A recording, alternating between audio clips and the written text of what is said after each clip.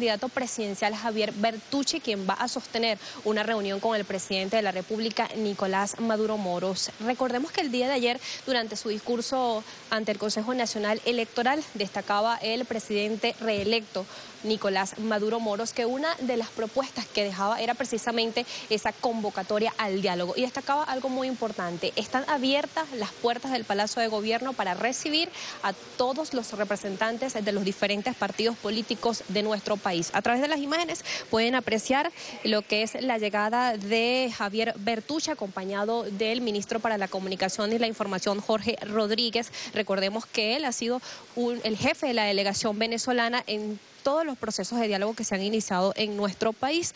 Recordemos también el año pasado cuando se lograron avances significativos en esta materia. Él presidía precisamente esa comisión presidencial del gobierno bolivariano en esa mesa de negociaciones que se estableció en República Dominicana y a la cual se llegaron acuerdos muy importantes a los que en última instancia la oposición venezolana representada en, Jorge, en Borges decidió no firmar los acuerdos ha sido parte de la política reiterada del presidente Nicolás Maduro Moros, el llamado al diálogo, a convocar a todos los sectores de la oposición venezolana para lograr mecanismos y lograr decisiones importantes en pro del bienestar del país. Recordemos que el día domingo 20 de mayo se celebraron en nuestro país las elecciones presidenciales donde el presidente Nicolás Maduro Moros resultó ganador con más del 68% de los votos y donde además también participaba Javier Bertucci, Henry Falcón, quedando de segundo Henry Falcón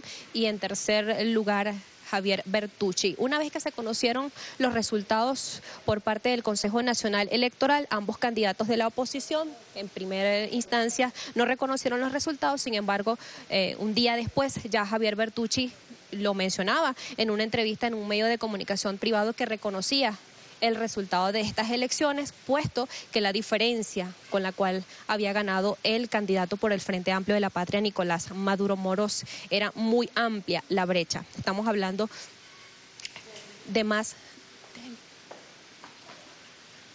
con estas imágenes nosotros vamos a despedir este avance. Más adelante estaremos ampliando de cómo transcurre esta reunión acá en el Palacio de Gobierno. Adelante. Bien, la